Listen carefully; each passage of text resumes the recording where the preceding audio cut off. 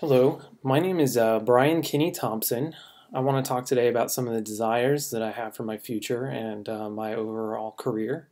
For a long time, I've been interested in anything that has to do with art and creativity. I grew up on a, a farm in the Rocky Mountains, and I even uh, raised actual farm animals like cows and sheep and pigs. Uh, being outside of a modern city didn't really do a lot of wonders for my exposure to modern artwork it wasn't until I was in high school that I moved down to Florida and began to see a lot more um, creative outlets for myself. I always excelled at art, and when I was a teenager, I began to find interests in different types of art. Some examples are uh, Georgia O'Keeffe and uh, Raymond Swanland. Uh, with more interests like these great artists, it um, doesn't come as a surprise to me that I have a great desire to continue along a um, artistic path. And um, I spend a lot of time learning to digitally paint in Photoshop and use modern tools that are available for me, uh, which is something you have to keep up with in this day and age. Um, so keeping that in mind, I wanted to read a quote from our mastery textbook that really grabbed me. Uh, so here goes. Um, the misery that oppresses you lies not in your profession, but in yourself.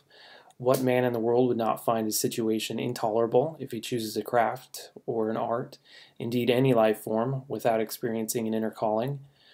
Whoever is born with a talent, or to a talent, must surely find in the most pleasing of occupations. Everything on this earth has difficult sides. Only some inner drive, pleasure, or love can help us overcome obstacles, prepare a path, and lift us up out of the narrow circle in which others tread out their anguished, miserable existences. This is a, a quote from uh, Johann Wolfgang von Goethe and uh, was from our mastery textbook to me, this really meant to go out and do something that you love. Art is what I love. So, with this in mind, I wanted to choose one of the five strategies that we read about uh, to go over. The one that struck out to me the most out of the five was avoiding the false path. And I can tell you that I fell into this um, 100%. Um, that my false path is customer service. I fell into it after high school and after the past uh, 16 years every job that I've had is um, highly customer service driven and based. And I realized I do it just to get by and to pay for a car and an apartment so that I can continue to work. And it's just kind of like a vicious cycle. And um, it, it's something that I'd like to break out of, going into um, design and finding something more that I love. And so that I don't go over my time, I'll just touch on the type of dream career that I like. I honestly don't want excessive amounts of money or fame. All I want is a career that makes me, you know, smile and happy at the end of the day, and um, makes me kind of self-fulfilled and brings me a lot of joy. Uh, I love to travel and experience new things. Maybe a career as a digital artist would give me that, and uh, so that's what my dream would be.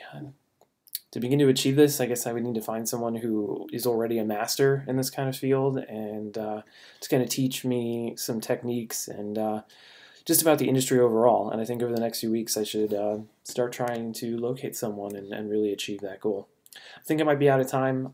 Thanks for your, uh, for watching.